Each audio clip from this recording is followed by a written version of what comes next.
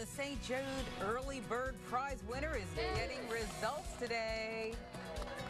Ah, that's a happy man. Congratulations to Mr. Venus Tanyang.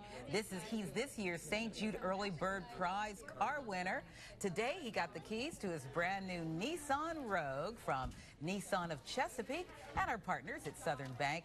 He says he buys a St. Jude Dream Home ticket every year. It's for a good cause, St. Jude's. I've been buying it for a while, How long?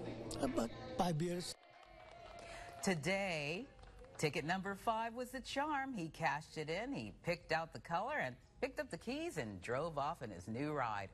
His daughter, who was with him, says it is a special blessing because it's been a rough year for him. And guess what? Mr. Venus plans to buy another ticket next year.